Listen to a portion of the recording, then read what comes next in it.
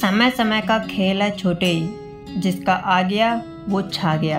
देख भाई, अगर हारने के बाद भी आप में कुछ कर गुजरने की हिम्मत है तो समझ लीजिए आप हारे नहीं हैं।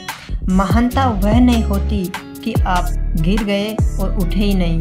महानता उसे कहते हैं जब गिरकर बार बार उठते हैं।